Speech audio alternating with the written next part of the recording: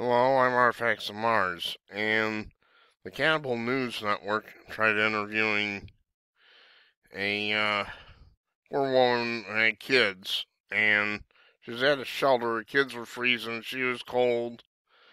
They hadn't eaten in days. And the Cannibal News Network, their reporter sticks saying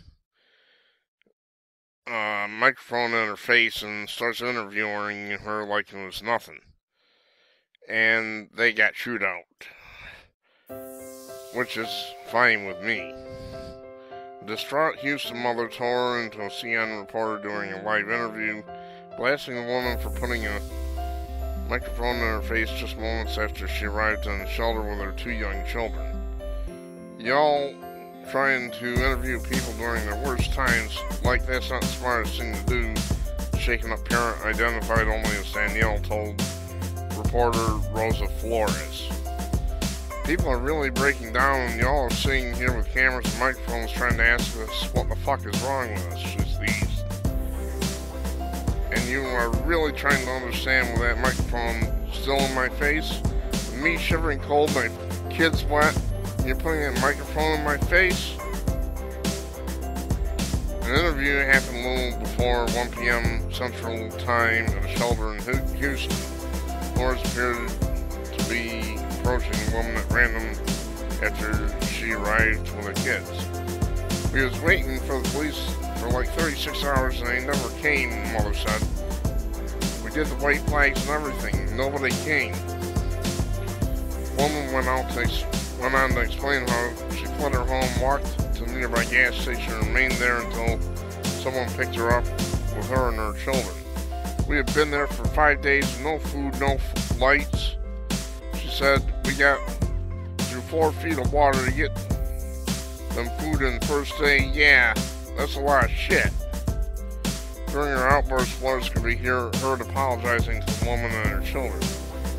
It sounds like you got a very upset family there. CNN anchor Jim Acosta told Flores before cutting away. Jared later discussed the incident, saying the mother appeared to be at her breaking point. Well, what do you think, you morons? We've seen a lot of pain, a lot of drama, a lot of shock here, and that's exactly what that woman is going through. Laura said it's a very painful time. Yeah, and you'll go back to your uh, little pent- penthouse suite or whatever. There's a lot of trauma, and she mentioned she went through all that with her children. So just imagine any parent can relate to that. the problem is you can't you don't relate to it. You live probably in, you know, some rich person's place, and to these people, you're, they're nothing more than a story to you. This is the point. You consider them to be a story, nothing more. And then you sons of bitches have the nerve, unmitigated gall, to say just how heartless conservatives are. Good Unbelievable. Well, that's Cannibal News Network for you. Hey, I can't deal. I've heard, I have heard that some reporters roll up their sleeves and are helping out.